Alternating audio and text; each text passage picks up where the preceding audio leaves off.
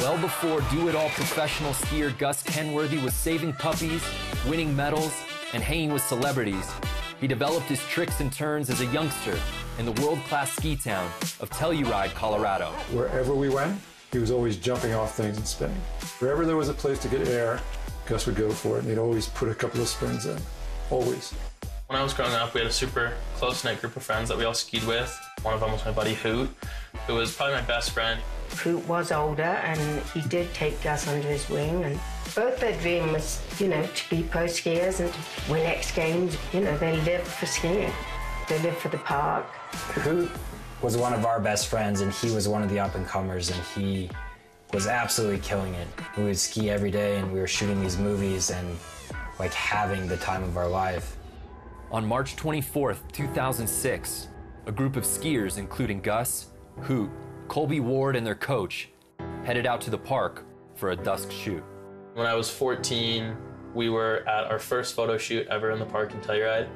I got a call from Gus, and I knew they were up there. He was on the gondola, and I could tell in his voice that something very, very bad had happened. And he said, Dad, Hoot's hurt. While hitching a ride on the back of a snowcat, Hoot's jacket got caught in the track, and he was sucked under the mammoth machine. And he was just coughing up blood, and he's just like, man, I'm not gonna make it, man. I'm not gonna make it. And that was one of the last few things he said.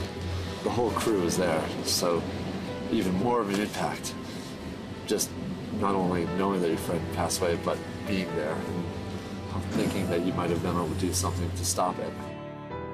I remember thinking that it, it could have been me, or maybe it should have been me, just because he was skiing so well, and I felt like it was going to take off for him.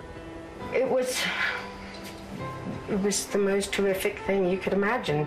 It was incredibly painful. It was really hard for us. It, it tore some of us apart for sure. He was a role model for Gus, and he was gone, just like that. And he watched it happen right in front of his eyes. And I've never really understood how he had the strength to, to just move on. Because Hoot was someone that he adored? He looked up to him, he adulated him. He was his hero, his best friend. At the very beginning, I didn't want to ski anymore. I didn't know. I felt like it wasn't worth it.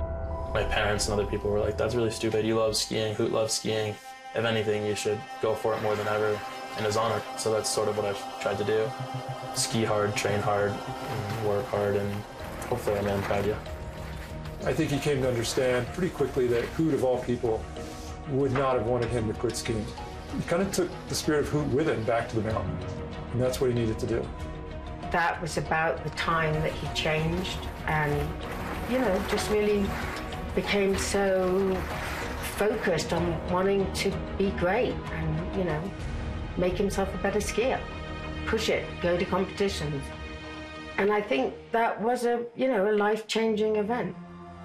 In 2011, at the age of 19, Gus got his first X Games invite. It was the moment he and Hoot had dreamt of. Hoot was cremated, so his mom gave us some ashes, and actually at my first X Games. Oh my god, sorry.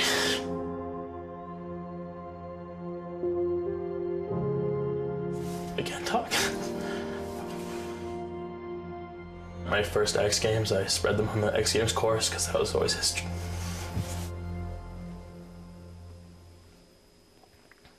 That was one place that he always wanted to be, so it's kind of a nice thought knowing that it's there. There's more joy in it for Gus now because he's achieved some things that he wanted to achieve. So I think it's more as if he's giving Hoot to ride with him. I feel like I kind of have him watching over me. I always knew that Gus's dream to be in X Games was his definitive goal. Oh, that was pretty. That was huge. Oh, the oh. X Games gold medal for me would, would mean everything. I mean, more, it would mean more to me than the Olympic medal or any of the AFP titles. It's definitely been my number one goal since I was pretty young, and it's what I'm still striving for.